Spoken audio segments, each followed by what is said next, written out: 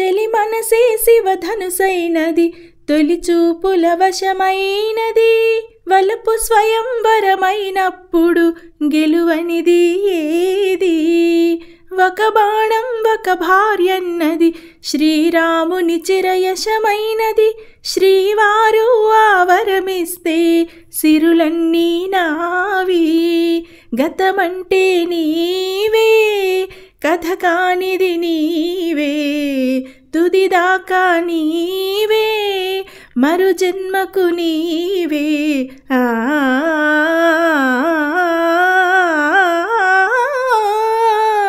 జానకి కలగనలేదు రాముని సతి కాగలనని నాడు.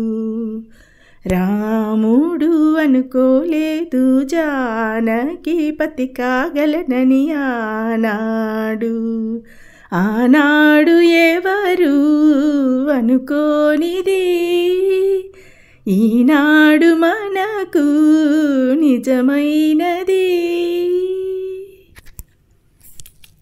అందరికీ నమస్తే అండి. నా పేరు శైలజ. ఛానల్ సపోర్ట్ చేస్తున్న ప్రతి ఒక్కరికి పేరు పేరున ధన్యవాదాలండి. థ్యాంక్ యూ సో మచ్ ఈరోజు అయితే మరో మంచి వీడియోతో మీ ముందుకు వచ్చేసాను.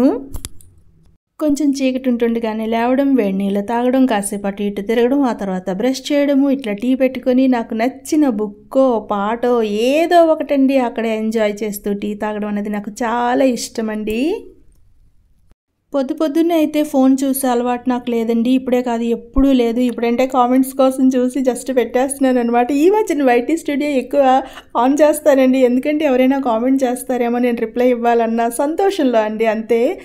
కానీ ఎప్పుడైనా సరే ఉదయాన్నే ఏదైనా పాటలు వినాలనుకుంటే ఆన్ చేసేసి దాన్ని మొత్తం లైటింగ్ అంతా కూడా తగ్గించేసి జస్ట్ పాట మాత్రమే పెట్టుకుంటానండి. నాకు నచ్చిన స్తోత్రాలు దేవుడి పాటలో లేకపోతే ఏదో ఒకటండి ఇళయరాజా మ్యూజిక్ ఏవైనా సరే లేకపోతే ఒక ఇన్స్ట్రుమెంటల్ మ్యూజిక్ ఏదో ఒకటి నాకు ప్లెజెంట్గా ఉండేదైతే వింటే నాకు చాలా చాలా ఇష్టమండి.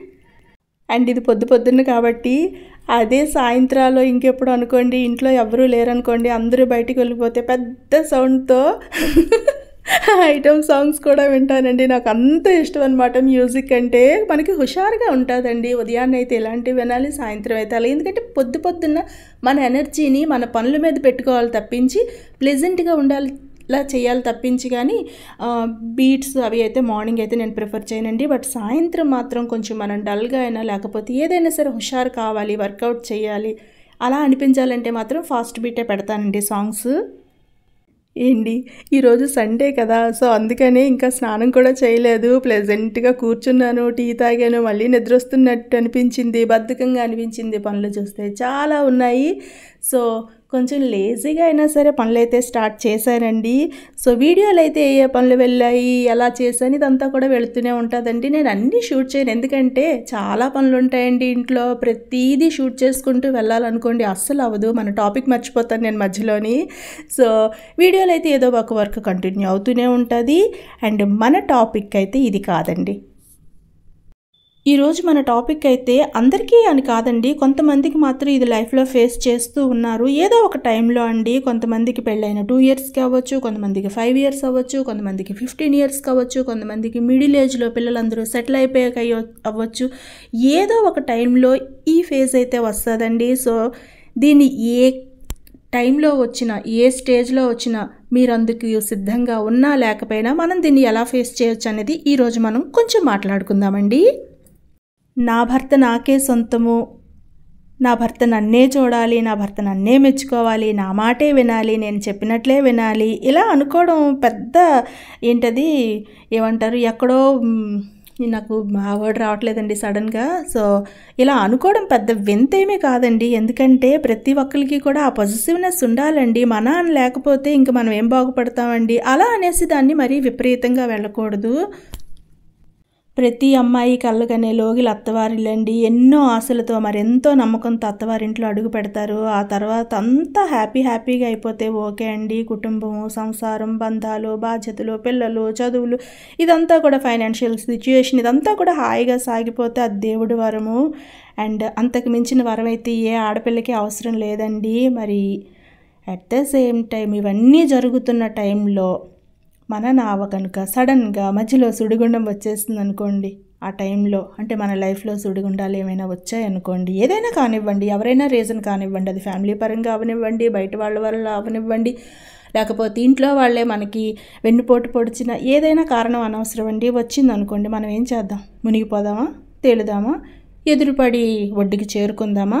ఫైట్ చేద్దామా? లేకపోతే దుఃఖంలో ఉండిపోదామా? డిప్రెషన్లో పడిపోదామా? ఈ జన్మకి ఇంక ఇంతే అని చచ్చిపోదామా? సో ఏది డిసిషన్ తీసుకోవాలన్నది మన చేతుల్లోనే ఉంటుందండి. ఎందుకంటే మనకు కూడా ఇది ఒకే ఒక జన్మ అండి అలా అనేసి మనం సెలబ్రిటీలాగో లేకపోతే ఇంకొకరిలాగో కొంచెం ఫైనాన్షియల్గా ఉండేవాళ్ళలాగో లేకపోతే ఎవరైనా సరే కొంచెం కరుకు నిర్ణయాలు ఉంటాయండి. అది వాళ్ళ వాళ్ళ ఇష్టం అండి ఎవరి పర్సనల్ లైఫ్ని కూడా మనం పాయింట్అవుట్ చేయకూడదు.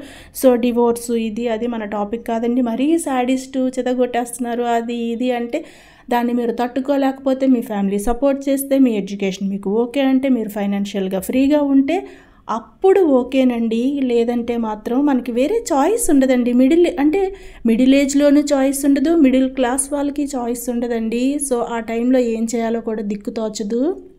కారణాలు ఏవైనా యావరేజ్ ఎడ్యుకేషన్తో ఉండి మిడిల్ ఏజ్లో ఉండి మిడిల్ క్లాస్లో ఉండి ఫ్యామిలీ సపోర్ట్ లేకుండా అంటే పేరెంట్స్ వైపు నుంచి కూడా ఏమీ లేకుండా ఉండి కొంతమంది స్వార్థపూరితమైన చర్యల వల్ల మన కాపురం కనుక కూలిపోవాల్సి వస్తే అన్నీ భర్తే అనుకొని అతన్నే సర్వస్వం అనుకొని అతన్నే నమ్ముకొని ఎడ్యుకేషన్ని వెనకబెట్టేసి జీవితంలో ముందుకు వెళ్ళడానికి కూడా అతని వెనకాలే ఉండాలి అన్న దృష్టిలో ఉండి అతని సంతోషమే మన సంతోషము అతని దుఃఖమే మన దుఃఖము అతను నవ్వితే మన నవ్వటము అతని ఫ్రెండ్సే మన ఫ్రెండ్స్ అతని ఫ్యామిలీయే మన ఫ్యామిలీ ఇలా అనుకొని కంప్లీట్గా మన కళ్ళని బ్లైండ్గా చేసేసుకున్నప్పుడు కారణం ఏదైతే అవ్వనివ్వండి అవతలి వారి ఏమంటారో నాకు తెలియదండి అలాంటి వాళ్ళని. సో అప్పుడు అతన్ని నమ్ముకున్న మనం ఏం చెయ్యాలి? ఏంటి? ప్రేమకి బంధానికి చదువుకున్నవారో జాబ్ లేనివారో జాబ్ చేస్తున్న వాళ్ళు రిచ్ బ్యాక్గ్రౌండ్ ఉన్నవాళ్ళు లేకపోతే ఫ్యామిలీ సపోర్ట్ అన్నీ ఉన్నవాళ్ళైనా సరే కోటీశ్వరులైనా అందగత్తెలైనా లేకపోతే సొసైటీలో మంచి ఇమేజ్ ఉన్నవాళ్ళైనా సరే ఏదైనా సరే ఆడవారి మనస్సు భర్త దగ్గరికి వచ్చేసరికి చాలా సెల్ఫిష్గానే ఉంటుందండి. ఏంటి అప్పుడు ఇప్పుడు ఎప్పుడూ కూడా నూటికి తొంభై తొమ్మిది శాతం మంది భర్త విషయంలో స్వార్థమేనండి. నా భర్త నాకే సొంతం. ఇది ఎవరికైనా ఏ స్టేజ్లో అయినా సరే ఇది ప్రేమ అండి కోపాలు తాపాలు అనుమానాలు సాధింపులు ఏవి ఎలా ఉన్నా సరే ఆడవారికి భర్త చాలా ముఖ్యము ప్రాణము కాదంటారండి. ఎంతమంది ఈ విషయంతో ఏకీభవిస్తారో నాకు తెలియదు ఆ ఉంటారండి కొంతమంది చాలా మంచి భర్తలు ఉంటారు కొంతమంది చాలా మంచి భార్యలు ఉంటారు. ఒక ఇద్దరు ఒకే ఫ్యామిలీలో ఉన్నారనుకోండి ఆ సంసారం సంతోషం కాదండి స్వర్గం.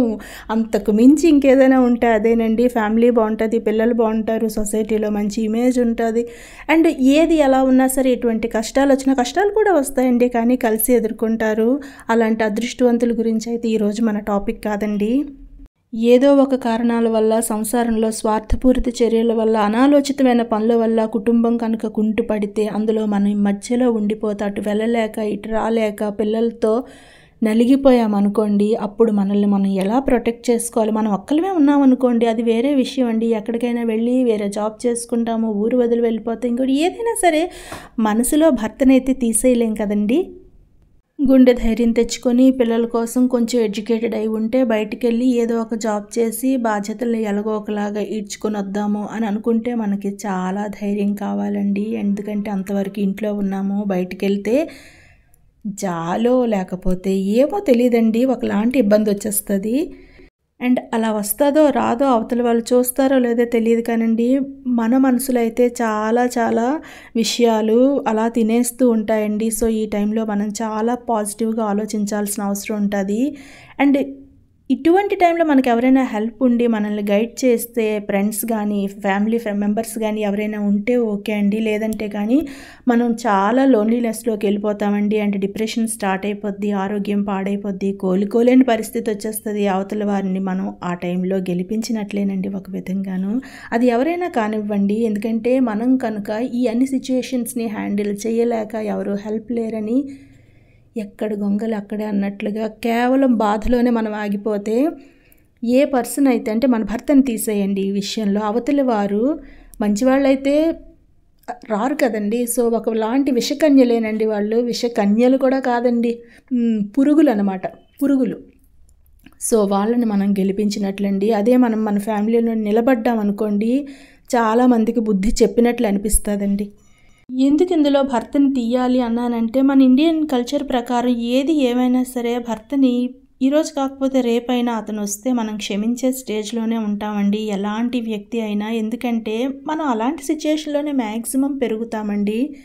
అండ్ ఇది మనకి ఇప్పుడు ఒక ఛాలెంజింగ్ టైం అండి. ఈ టైంలో మనం ఓపికతో అర్థవంతంగా జాగ్రత్తగా ఆచి తూచి అడుగేయాల్సిన టైము. మీ మంచి కోరేవారు మీ చెడు కోరేవారు ఎవరైనా సరే ఈ టైంలో మీకు ఇప్పుడు బాగా తెలిసిపోతుంది. ఎందుకంటే అన్నీ బాగుంటే అందరూ చుట్టాలేనండి. కానీ సిచ్యుయేషన్స్ ఏవైనా కొంచెం దిగజారి మీరు ఫైనాన్షియల్గానో లేకపోతే ఏదైనా సరే అవసరాలు పడ్డాయనుకోండి చాలా వరకు మిమ్మల్ని అవాయిడ్ చేసేస్తారండి.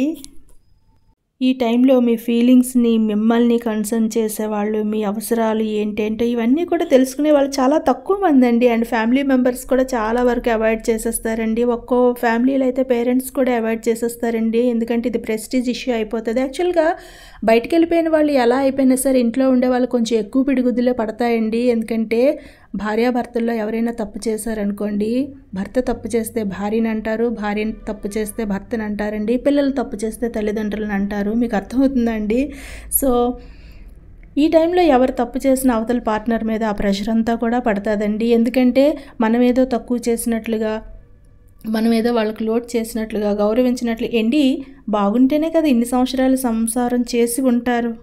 ఒక్కసారి వాళ్ళు తప్పు చేస్తే మొత్తం నిందంతా మన మీద వేస్తే వేస్తారండి. ఎందుకంటే మనకు అలా అలవాటు అయిపోయింది సో ఈ టైంలో మీరు ఎన్- ఎలా ఉండాలి అనేది మీ తాలూకా యాటిట్యూడ్ మీదే డిపెండ్ అయి ఉంటుందండి. ఈ టైంలో మీరు అతను ఆవిడతో ఎలా ఉంటున్నారో అతను ఆవిడని ఏమేం వేషాలు వేస్తున్నారు? ఏంటి ఇంటి దగ్గర అటు నుంచి ఇటు ఒత్తిగెళ్ళడానికి కూడా బద్ధకంగా ఉండేవాళ్ళు? అక్కడ తుడి చేస్తారు తోమేస్తారు ఇల్లు క్లీన్ చేస్తారు వంటలో హెల్ప్ చేస్తారు బట్టలు ఆరబెట్టేస్తారు అన్నీ చేసేస్తారండి. ఒకసారి చాలా అంటే అంత మంచి బుద్ధిమంతులు అయిపోతారు. ఎందుకంటే ఇన్ని రోజులు మనం అవి చెప్పలేదు కదండి. సో ఏం చేస్తే బాగుంటుంది అనేది వాళ్ళకి తెలుసండి. సో ఇవన్నీ కూడా మీరు ఊహించుకుంటే అవ్వదు. కొంతమంది సిచ్యువేషన్ లైఫ్లో ఇలాంటి సిచ్యువేషన్స్ కూడా ఎదురవుతాయండి. నేను విన్నాను చూశాను. అందుకని మీకు చెప్తున్నాను అనమాట సో ఎలాంటి సిచ్యువేషన్స్ వచ్చినా ఈ టైంలో మీరు వాళ్ళ గురించి అస్సలు ఆలోచించొద్దండి. కష్టమే అండి. చాలా కష్టము. కానీ మీరు నిలబడండి. మీ గురించి మీరు అర్థం చేసుకోండి. మీ శక్తి ఏంటో తెలుసుకోండి. అండ్ మిగిలిన వారి గురించో వాళ్ళేమంటారు వీళ్ళేమంటారు అనే దాని గురించో అస్సలు మీరు ఫోకస్ చేయొద్దు. అండ్ సెల్ఫ్ కేర్ ఎక్కువగా తీసుకోండి. ఫిజికల్గా స్ట్రాంగ్గా ఉండండి. అండ్ వాకింగ్ వర్కౌట్ ఏదో ఒకటి స్టార్ట్ చేయండి. ఏంటి చెప్తున్నాను కదా నేను చెప్పేవి చాలా కష్టం అండి కానీ ఇంపాసిబుల్ అయితే కాదు. కొద్దిగా దృష్టి పెడితే ఇవన్నీ కూడా మీరు ఖచ్చితంగా చేయగలుగుతారు. అండ్ మీ లైఫ్లో మీరు నిలబడతారండి. అండ్ ఎమోషనల్గా అటు మీకు ఇష్టమైనవి వీలు కానివి ఏవైనా సరే ఎప్పటి నుంచో చెయ్యాలని కూడా చేయలేనివి ఏవైనా ఉండిపోయాయి అనుకోండి మీలో చాలా సంవత్సరాల నుంచి కొన్ని కోరికలు ఉండిపోయి ఉంటాయి వాటికి ఏం డబ్బులు అక్కర్లేదండి. సో అలాంటివి ఏవైనా ఉంటే లిస్ట్ అవుట్ చేసుకోండి. అప్పుడు మీరు చాలా హ్యాపీగా ఉంటారు. అండ్ బ్యాలెన్స్ ఉండిపోయిన పనులు లేకపోతే తీర్చాల్సినవి ఏవైనా మీ చేతుల్లో ఉండి వాటి సొల్యూషన్ ఏవైనా మీకు కనుక తోస్తే ఖచ్చితంగా అవన్నీ కూడా చేయండి. దీనికి మీకు శ్రేయోభిలాషులని మీ మనసుకి చెప్పేవారి సలహా తీసుకోండి. అంటే మీ మంచి కోరుకునే వాళ్ళు ఎవరైనా ఉంటారు కదండి వాళ్ళ తాలూకు సలహా తీసుకోండి. ఎందుకంటే పాలసీలు కానీ లేకపోతే కట్టాల్సినవి బిల్స్ కానీ ఏమైనా పెండింగ్ ఉండిపోయి అనుకోండి అటువైపు ఫైనాన్షియల్గా ఇటువైపు అప్పుల్లోనూ రెండిట్లోనూ కూరుకుపోతామండి. బయట ఉండే వాళ్ళకి ఇవేవి గుర్తుకు రావండి. మీకు అర్థమవుతుందా? నేను కొంచెం స్పీడ్గా అవ్వటం వల్ల అంటే ఇది చాలా సెన్సిటివ్ టాపిక్ అండి. దీన్ని నేను ఒక ఫ్లోలో వెళ్తేనే చెప్పగలను. అందుకని ఇంత స్పీడ్గా చెప్తున్నాను అనమాట ఒకసారి అర్థం కాకపోతే వెనక్కి వెళ్ళి మళ్ళీ ఒకసారి వినండి మీకు అర్థమవుతుంది? మీ పిల్లలు కనుక మరీ చిన్నవారైతే వారికి దీని ఇంపాక్ట్ పడకుండా చూసుకోండి. అండ్ మీ పిల్లల వయసులో ఉన్నప్పుడు ఇలాంటి దరిద్రాలు మీకు ఎదురైతే వాళ్ళని కొంచెం బాధ్యతగా ఉండమని చెప్పటం కోసం మీ సిచ్యుయేషన్ కొద్దిగా వాళ్ళకి తెలిసిపోతుందండి. కాకపోతే ఈ టైంలో వాళ్ళు తగువులు పడ్డమో లేకపోతే ఒకరి వైపే సపోర్ట్ తీసుకోవడం ఇలాంటివి చేశారనుకోండి కొంచెం ఇబ్బంది పడతారు. సో మీరే ధైర్యంగా కొంచెం వాళ్ళని ఇందులోంచి బయటపడేయండి. పౌరుషాలు పంతాలు పట్టింపులు ఇలాంటివన్నీ వెళ్తే వాళ్ళ లైఫ్లో ముందుకు ఎదగలేరు. యాక్చువల్గా ఇలాంటి సిచ్యువేషన్స్ కనుక కొంత వయసులో తెలిసాయనుకోండి వాళ్ళ పెళ్ళిళ్ళ మీద నమ్మకం పోతుంది. సో మీరు కను వాళ్ళ తాలూకా ఎమోషనల్కి అంటే వాళ్ళనైతే ఇందులో మ్యాక్సిమం మీరు ఉంచొద్దండి. మీరు సంతోషంగా ఉన్నారనుకోండి వాళ్ళకి తెలిసినా కూడా వాళ్ళ కెరియర్ వాళ్ళ లైఫ్ ఈ ఇంపార్టెన్స్ అయితే వాళ్ళకి తెలిసేలా చెప్పాలండి. అంతేగాని ఈ చెత్త విషయాల గురించి ప్రతిరోజు వాళ్ళ ముందు అస్సలు బాధపడకండి. అండ్ మిడిల్ ఏజ్లో మీరు కనుక సింగిల్గా ఉండాల్సి వస్తే చాలా వరకు వయసు పరంగా వచ్చే హార్మోన్లు ఇంబ్యాలెన్స్ ఉంటాయి. దానికి తోడు ఇలాంటి సిచ్యుయేషన్స్ వస్తే చాలా వరకు కూడా మీ ఆరోగ్యం పాడైపోతుందండి. రెండు విధాలుగా ఫిజికల్గా మెంటల్గా. సో దీన్ని జాగ్రత్తగా మీరు హ్యాండిల్ చేయాలండి. ఇందుకోసం అయితే ముందుగా మీ బాడీకి మీరు ఏదో ఒక పని అప్పచెప్తూనే ఉండాలండి. ఎక్కువ టైం అయితే శారీరకంగా మీరు కష్టపడడానికే ప్రయారిటీ ఇవ్వాలండి. వర్కౌట్ చేయొచ్చు గార్డెనింగ్ చేయొచ్చు లేదా వాకింగ్ చేయొచ్చు లేదా డ్యాన్స్ చేయొచ్చు లేదంటే ఏదైనా ఇంట్లో మ్యాక్సిమం వర్క్ అంతా కూడా మీరే ఫినిష్ చేసుకోండి. దీనివల్ల మీకు కొంచెం నిద్ర పడుతుందండి. అండ్ ఇదే టైంలో మీరు డిహైడ్రేట్ అవ్వకుండా ఎక్కువ వాటర్ తాగాలి ఉప్పు కారం మసాలా తగ్గించుకోవాలి అండ్ ఫ్రెష్ వెజిటేబుల్స్ ఏవైనా ఉంటే తినాలి అండ్ పప్పు ఆకుకూర ఎక్కువ తినాలి ఎగ్స్ తినాలి పాలు తాగాలి అండ్ ఎండలో కాసేపు మినిమం ఒక హాఫ్ అన్ అవర్ అయినా ఉండాలి. మీ ఒంటికి చెమట పట్టే వర్క్ అయితే చేయాలండి ఖచ్చితంగాను. ఇవన్నీ కూడా చాలా చాలా ఇంపార్టెంట్ అండి. అలా కాకుండా మీరు పని ఏదో చేసేసి ఒక మూల కూర్చొని ఇవంతా కూడా విచారిస్తూ బాధపడుతూ ఉన్నారనుకోండి చాలా కష్టమైపోతుందండి చాలా చాలా కష్టమైపోతుంది. సిచ్యుయేషన్లోకి రాగానే మీరు ఏదో చేసేద్దాము ఏదో సాధిద్దామని అయితే అస్సలు అనుకోకండి. ఎందుకంటే కొద్ది రోజులు కొద్ది నెలలు మీకు రెస్ట్ కావాలండి. ఈ టైంలో మిమ్మల్ని మీరు స్ట్రాంగ్గా ఉంచుకోవాలి. అవసరమైతే ఎవరైనా ప్రొఫెషనల్స్ లేకపోతే ఎవరైనా గైడెన్స్ అయితే తీసుకోవాలండి ఖచ్చితంగాను. అంతకంటే ముందుగా క్వాలిటీ టైం స్పెండ్ చేయడం నేర్చుకోవాలండి. నచ్చిన మూవీస్ సాంగ్స్ అల్లికలో కుట్లో ఏది నచ్చితే అది చేయొచ్చు. ప్రతిరోజు ఫ్రెష్గా కనిపించడానికి ట్రై చేయాలి. అండ్ నలుగురితో నచ్చితే కలవండి. లేకపోతే మీ పని ఏదైతే ఉందో అది నేర్చుకోండి చేసుకోండి. ఎందుకు ఇలా చెప్తున్నాను అంటే ఈ కాలం ఎప్పుడూ ఇలానే ఉండిపోదండి. అవతల వాళ్ళు తమ తప్పు తెలుసుకొని మళ్ళీ పరిస్థితులన్నీ కూడా మనకి అనుకూలంగా మారి మన వారు మన దగ్గరికి వచ్చేసరికి మనం కనుక స్ట్రాంగ్గా నిలబడలేదనుకోండి మిమ్మల్ని బాధ పెట్టిన వాళ్ళందరూ కూడా గెలిచినట్లండి. అలా కాకుండా ఈ టైంలో మిమ్మల్ని అపార్థం చేసుకున్న వాళ్ళు మిమ్మల్ని చులకనగా చూసిన వారు మీకు హెల్ప్ చేయడానికి అసలు ముందుకు రాని వాళ్ళు అంటే వాళ్ళు మీ ఫ్యామిలీ మెంబర్సేనండి మీ ఇరుగు పొరుగు మీ చుట్టుపక్కల వాళ్ళు ఎవరైతే కానివ్వండి మళ్ళీ సిచ్యుయేషన్స్ అన్నీ వచ్చేసరికి వాళ్ళందరూ కూడా మళ్ళీ మీకు వెనక్కి వస్తారండి. అండ్ అప్పుడు వాళ్ళు మీతో ఎంతో స్నేహంగా అభిమానంగా ఉంటారు. అలా కాకుండా మీరు బాధలో పడి మీ లైఫ్ని కనుక ఎండ్ చేసుకుంటే వాళ్ళందరూ కూడా గెలుస్తారండి. అందు మిమ్మల్ని అందరూ కూడా మర్చిపోతారండి. తప్పు చేసిన వాళ్ళంతా సంతోషంగా ఉంటారు. మీరు మాత్రం ఏడుస్తూ మీ లైఫ్ని ఎండ్ చేసుకోవాల్సిన స్టేజ్ వస్తుందండి. సో ఈ టైంలో మిమ్మల్ని మీరు స్ట్రాంగ్గా ఉంచుకోండి. అండ్ ఆల్ ది బెస్ట్ అండి. వీడియో నచ్చితే తప్పకుండా లైక్ చేయండి కామెంట్ చేయండి షేర్ చేయండి అండ్ సబ్స్క్రైబ్ చేయండి. బాబు రేపు మరో మంచి వీడియోతో మళ్ళీ కలుస్తాను.